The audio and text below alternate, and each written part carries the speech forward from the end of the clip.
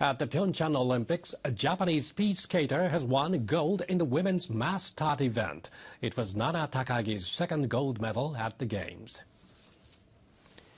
Takagi was the only Japanese skater to qualify for the final. She finished in first place, followed by South Korea's Kim Bo-reum and Irene Schouten from the Netherlands. Mass start is a new event at the Games. Unlike other races, about a dozen skaters start all at once. Takagi was a member of the team that won gold in the pursuit event on Wednesday.